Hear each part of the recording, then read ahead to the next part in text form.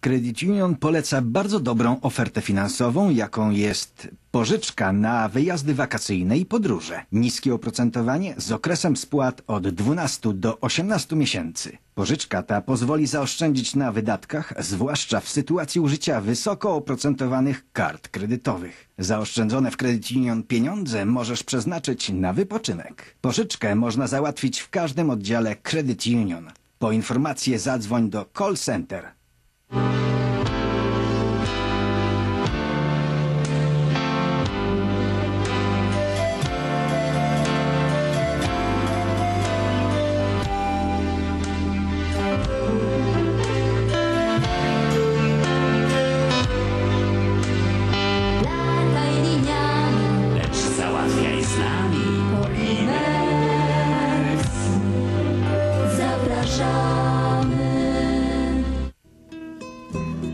Chcesz widzieć wyraźnie?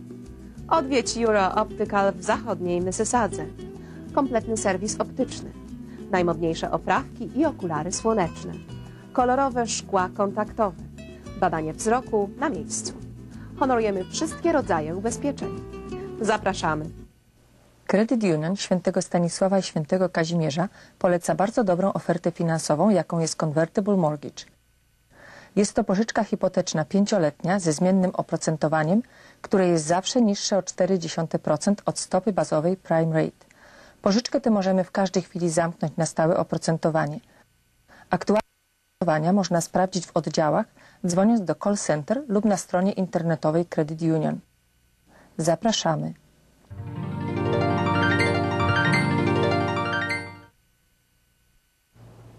A teraz zapraszam na wiadomości z Polski przygotowane przez telewizję Trwam.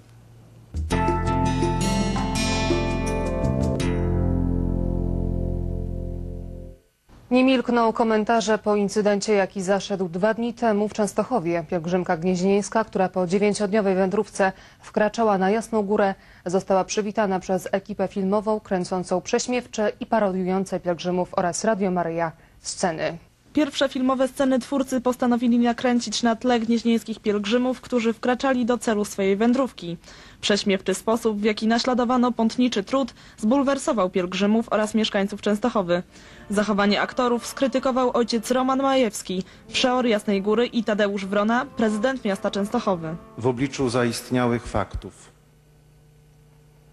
Jasna Góra wyraża zdecydowany protest i sprzeciw wobec ośmieszania świętej tradycji Polaków Ojciec Przeor dodał również, że ta parodia pobożności pomniejsza wartość narodowej świętości Jasnej Góry. Podobnego zdania jest środowisko artystyczne. Aktorka Halina Łabonarska tak komentuje to zdarzenie. Uważam, że, że obśmiewanie pielgrzymów idących, którzy idą z jakimiś szczególnymi intencjami, e, niosą tam całe swoje życie często, a, bardzo często również przeżywają katarzis, przemianę jakąś olbrzymią, e, co potem owocuje w całym późniejszym życiu, więc nie sądzę, żeby, żeby twórcy mieli prawo do obśmiewania tych, którzy idą, a często jest to dla nich ogromny wysiłek, ogromny trud. Twórcy filmu zareklamowali swoje nowo powstające dzieło kpinami w świętym miejscu i w czasie, kiedy zmierza do niego najwięcej pielgrzymów. Publicysta Jan Maria Jackowski zwraca uwagę, że niestety w środowiskach postępowych jest szczególne przyzwolenie i bezkarność wobec krytyki wiary katolickiej, czego nie można powiedzieć o innych wyznaniach. Niektórzy uważają, że y, realizując swoją wizję wolności mogą naruszać y, wolność i godność y, innych ludzi oraz bezkarnie naruszać uczucia religijne i to jest zjawisko, które się nagminnie pojawia i dotyczy szczególnie wiary katolickiej. Wiara katolicka i obiekty jej kultu są notorycznie wyszydzane i coraz częściej usprawiedliwiane wolnością słowa. Poszanowanie uczuć religijnych chrześcijan jest jednak jakby wyjęte spod szerokiego hasła tolerancji. Do armii jedynie z wyboru. Ostatni poborowi trafią do wojska w grudniu tego roku. Rząd przyjął program profesjonalizacji polskich sił zbrojnych. Od nowego roku wojsko przyjmować będzie jedynie ochotników. Takie billboardy już od kilku dni zachęcają do wstąpienia do wojska. Ponad 2000 zł miesięcznej pensji, a do tego wyżywienie i mieszkanie za darmo. Mimo to chętnych do służby wojskowej brakuje. Nie, nie, nie. E, myślę, że warunki e, finansowe i później e, przyszłość takich e, zawodowych żołnierzy jeszcze w Polsce nie jest na tyle rozwinięte jak e, w krajach niemieckich czy francuskich. Także wydaje mi się, że no, to nie jest dla mnie. Rząd Donalda Tuska przyjął dziś program profesjonalizacji naszej armii. I tak ostatni obowiązkowy pobór zostanie przeprowadzony w grudniu tego roku. jeden zawodowy, dobrze wyszkolony, dobrze uzbrojony żołnierz e, w dzisiejszych warunkach jest nieporównywalnie więcej wart na, na polu bitwy niż nawet dziesiątki żołnierzy źle wyszkolonych, y, będących w wojsku z przymusu, źle uzbrojonych. W przyjętych założeniach rządu już od 2010 roku wojsko ma składać się jedynie z zawodowców. To są takie ramy, w których zmieścimy się, żeby w pełni uzawodowić e, polskie siły zbrojne. Co więcej, aby były one na koniec 2010 roku sprawniejsze, Zapewniał dziś minister obrony Bogdan Klich. Armia zawodowa liczyć będzie do 120 tysięcy żołnierzy służby czynnej oraz Narodowych Sił Rezerwowych. Bogdan Klich zapowiedział, że w maju 2009 roku przedstawi sześć ustaw związanych z profesjonalizacją. Szef Biura Bezpieczeństwa Narodowego Władysław Stasiak do rządowego projektu podchodzi z entuzjazmem. Zaleca jednak lepszą współpracę z Pałacem Prezydenckim. Były minister obrony narodowej Aleksander Szczygło zapewnia, że jest za uzawodowieniem armii. Jednak nie da się tego przeprowadzić w krótkim czasie. Ten projekt jest moim zdaniem nierealny, nieprzemyślany, no i z punktu wi- widzenia bezpieczeństwa państwa jest niebezpieczny, bo osłabia, osłabia możliwości e, wykonywania zadań wynikających z Konstytucji Rzeczpospolitej. Eksperci wojskowi są mocno podzieleni. Redaktor Nowej Techniki Wojskowej Andrzej Kiński pomysłowi zdecydowanie przyklaskuje. o sile sił zbrojnych nie decyduje liczba bagnetów i szabel, jak to było jeszcze kilkadziesiąt lat temu, ale nasycenie nowoczesną techniką i wyszkolenie żołnierzy. Były wiceminister obrony narodowej Romuald Szeremietiew ma spore zastrzeżenia. Według niego profesjonalna armia sprawdza się jedynie podczas interwencji militarnych poza granicami naszego kraju. W przypadku jednak regularnej wojny będziemy mieli problem. Jeżeli Polska będzie miała 150-tysięczną armię i załóżmy, że zaatakuje czarny scenariusz, zaatakuje e, Polskę państwo o wiele, wiele silniejsze, mobilizując swoje siły, a Polska zrezygnowała już praktycznie ze szkolenia rezerw, to kogo zmobilizuje?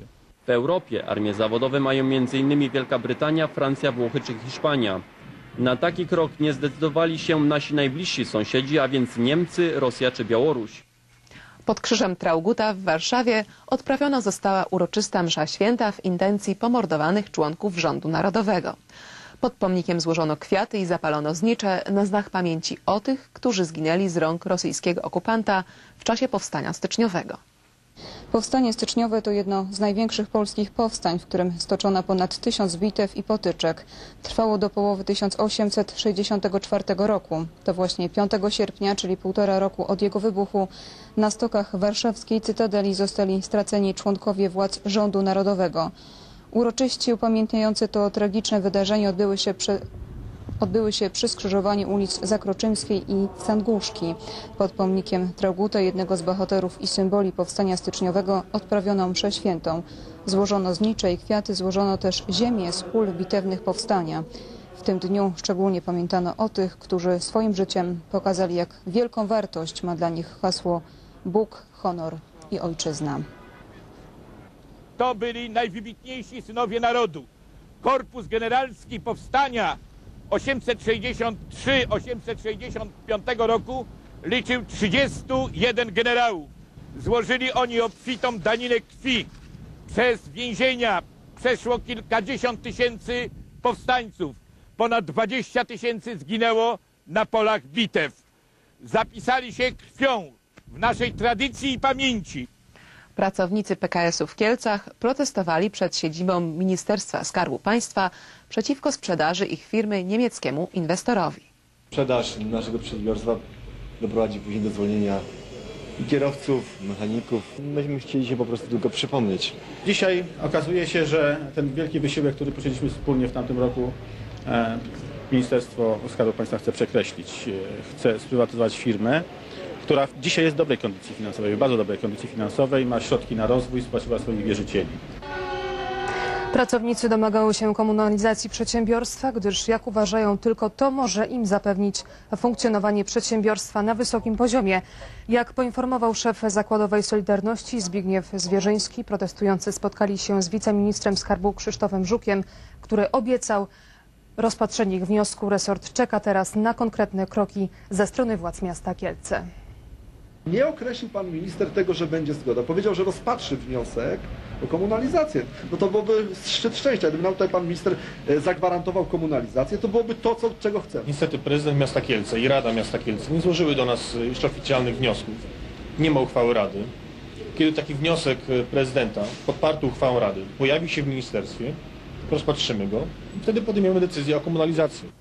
W Moskwie tłumy ludzi żegnały Aleksandra Sołżenicyna. Pisarz zmarł w niedzielę na zawał serca. Miał 89 lat.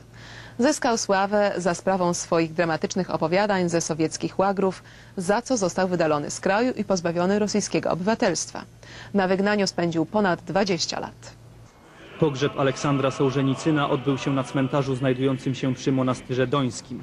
Od końca XVIII wieku chowano tutaj osoby szlachetnie urodzone. Składane są tu także prochy znanych Rosjan zmarłych na emigracji. Pisarz sam wybrał miejsce pochówku już pięć lat temu. Patriarcha Moskwy i Wszechrusi Aleksy II wyraził na to zgodę. Dziś w ostatnim pożegnaniu noblisty uczestniczyły setki ludzi. Hołd zmarłemu złożył także prezydent Rosji Dmitrij Miedwiediew. Сегодня у нас, признаем честно, олигархия. Aleksander Sołżenicyn wrócił do Rosji w 1994 roku. Napisał wówczas kilka polemik na temat rosyjskiej historii i tożsamości. W ostatnich latach był już nieco zapomniany przez społeczeństwo. Mirosław Chojecki, działacz opozycyjny i wydawca, tak ocenia twórczość Sołżenicyna. Pod wpływem jego literatury lewicowi działacze na zachodzie Europy zrozumieli, czym jest komunizm i partie komunistyczne zaczęły tracić członków, odwróciwszy się od Związku Radzieckiego. W Polsce nie miało to takiego znaczenia, bo Polacy zdawali sobie mniej więcej sprawę z tego, co się w ZSRR działo. Jednak dla świata zachodniego było to ujawnienie zupełnie nieznanych faktów. O zbrodniach hitlerowskich wiadomo było niemal wszystko, a o zbrodniach sowieckich nie wiemy praktycznie nic. A przecież system komunistyczny pochłonął więcej ofiar, bo trwał dłużej. Już na kilka dni przed rozpoczętymi wczoraj Igrzyskami Olimpijskimi w Pekinie miasto obstawione było przez policję i siły porządkowe, które rozprawiały się ze wszelkimi przejawami protestu. W stolicy nad bezpieczeństwem czuwają stutysięczne siły porządkowe. Jednym z ich zadań jest niedopuszczenie do krytyki chińskich władz. Jednak zagraniczni przybysze dziś już dwa razy podjęli próbę przełamania cenzury. Czwórka cudzoziemców z transparentami Uwolnić Tybet protestowała przed Stadionem Olimpijskim w Pekinie. Z kolei na placu Tiananmen trójka Amerykanów krytykowała chińską politykę rodzinną.